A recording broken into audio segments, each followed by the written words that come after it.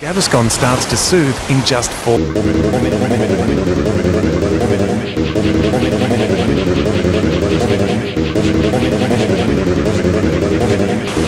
Gaviscon starts to soothe in just four minutes.